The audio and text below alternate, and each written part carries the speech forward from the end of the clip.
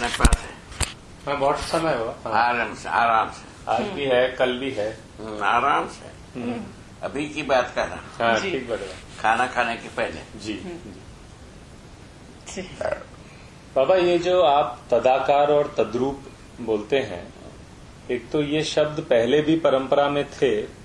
वो तो मनुष्य के समझदारी के अर्थ में नहीं था। हम्म, तो आपने ये शब्दों का चुनाव क्यों किया है और इससे क्या मतलब है थोड़ा सा उस पर बताइए।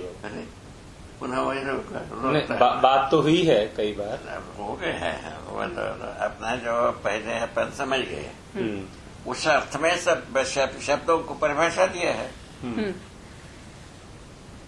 नहीं तो जैसे सहअस्तित्व में सहअस्तित्व को समझने के अर्थ में परंपरा में कोई काम नहीं था। हम्म, ठीक बात। उसको उसके अर्थ में हम परिभाषा दिया है।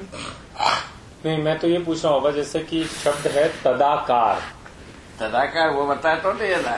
तद्रूप तदाकार जब जो है ना इष्ट देवता के साथ। था हाँ ठीक है। पर हम यहाँ पर जब आप यूज़ करते हैं। समझदारी के अर्थ में कह रहे हैं। हाँ वो ठीक बात है बाबा। कितना अंतर दूर है? बिल्कुल बिल्कुल दूर है। तो किस चीज़ का आकार लेने की बात हो रही है? तद आकार या तद रूप जब आप कहते हैं। ठीक है ना? क्या तो जो समझ की चीज़ें हैं हैं? जित जो समझ की वस्तु है। एक विद्यमान होने के रूप में। हाँ तो उसका तो कोई आकार नहीं है बाबा एक तरह से। तो हम तदाकार विद्यमान होना ही रूप है। हम्म, हम्म, विद्यमान रहना ही रूप है। हम्म, हम्म। ऐसी के अर्थ में क्या है। आप हमारे बीच में जो दूरी है ये अपने में एक रूप है कि नहीं है? ठीक है। हम्म। इसी आधार पर कहा है। तो एक प्रकार से जब हम तद्रूप की बात करते हैं तो हम ये रूप तो व्यापक बता तो दिया ना भाई मनुष्य की जो रूप जो है ना शब्द भी एक रूप है हम्म, अर्थ भी एक रूप है उसको समझना भी एक रूप है समझदारी को प्रमाणित करना भी एक रूप है। ये सबको रूप क्यों कह रहे हैं बाबा? रूप तो इसीलिए होता है कि एक दूसरे के साथ कम्युनिकेट होता है। नहीं जैसे आप कह रहे हैं शब्द भी एक रूप है हाँ। अर्थ भी है। शब्द रूप नहीं है तो आपको समझ में कैसा आता है? रूप से क्या अभिप्राय है? आपको शब्द सा- सामने को कम्युनिकेट हो जाए। समझ में आ जाए। तो ये कहना था।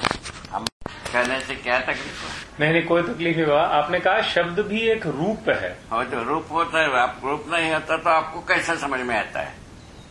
मतलब जैसे आपने बोला पंखा शब्द।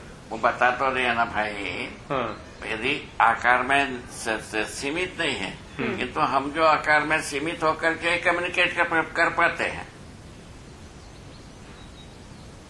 जैसा हम्म। सत्ता सर्वत्र व्यापक है। हम्म। ठीक है। पहले जी हम्म उसके बाद हर हर वस्तु सीमेंट है भिगा है घिरा हुआ। ठीक है। और के भिगा हुआ है तो उसके आकार में वस्तु के आकार में हो गएगा ना भिगा भिगा हुआ स्थिति? हाँ हाँ। ऐसे ऐसे कहा। समझना तो पड़ेगा बाबा। हम समझ गए हो ऐसा मान करके चलता नहीं है। हाँ, वो तो ठीक हाँ। उससे चलता होता तो फिर कहाँ इतना माथा पच्ची इतना होती? इतना माथा पच्ची का ही को होता है बात वैसी बात वैसी तो ये जो तद्रूपता है क्या हम व्यापक वस्तु के साथ तद्रूप होते हैं? हर वस्तु के साथ तद्रूप होता है तदाकार होता है। हर व्यापक वस्तु के साथ भी होगा। तो हर वस्तु हर वस्तु के साथ तदाकार भी है और तद्रूप भी है। हाँ। इन दोनों में क्या अंतर है बाबा? तदाकार में और तद्रूप में। तदाकार होने में वस्तु होने में विश्वास। स्वत्व होने में विश्वास अंधों में तद्रूप में। स्वत्व होने में विश्वास जब वो हमारा स्वत्व हो जाए। स्वत्व होने में विश्वास अलग है कि नहीं है? तो ठीक है। वस्तु के साथ ये वस्तु है इस पकड़ में आना पहचान में आना पहली बात फिर वो स्वीकार हो के मेरा स्वत्व हो ये दूसरी बात। ठीक। ये हमसे हमसे अलग नहीं हो सकता। हमसे तो अलग नहीं हो सकता मतलब ये समझ अब मुझसे अलग नहीं हो हाँ सकती। वही तो। समझे तो है। और कुछ तो तदाकार तद्रूप को साक्षात्कार और अनुभव के साथ समझा जाए कि कुछ अलग चीज़ें हैं? तदाकार को साक्षात्कार। हाँ वही। और तद्रूप को तद्रूप को अनुभव।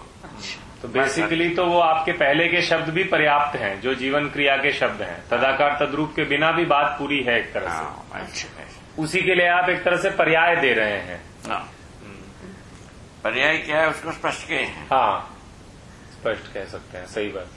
अभी इस रहस्यमयी विधा में हम तदाकार तद्रूप को पहले पहचाने थे शब्द को। तो उसको जो है नया व्यवहार रूप में प्रमाणित करने के अर्थ में दे दिया। हम्म, ठीक बात है। नहीं ये बिल्कुल ठीक है जी। साक्षात्कार और अनुभव शायद हम लोग उनसे परिचित ज़्यादा हो गए हैं तो उनसे ज़्यादा क्लियर मीनिंग जाता है। कि अर्थ अर्थ और वस्तु के पीछे जो अर्थ है वो पहचान में आना एक स्टेप शब्द और अर्थ लगा ही रहता है इसको आदिकालीन कंसेप्ट है। शब्द और अर्थ भी अलग नहीं हो सकता है। ठीक है ना? वाक्य वा- वाक्य और अर्थ। ये तो साथ में रहता है। ऐसा स्वीकार है।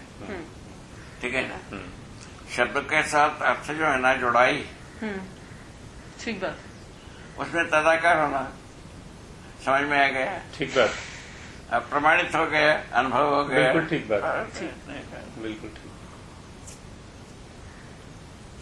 खास बात नहीं है वो। वो एक्चुअली ये जो शब्द हैं तदाकार तद्रूप इनसे हमारा बहुत परिचय नहीं है। तो इसलिए कई बार थोड़ा रहस्य है है हो जाएगा हो। जाएगा। इस तरह से साक्षात्कार और अनुभव शब्द से क्योंकि ज़्यादा समय से समय- सुनते और उस पर सोचते आए हैं वो थोड़ा थोड़ा स्पष्ट है ज़्यादा। ठीक। और आगे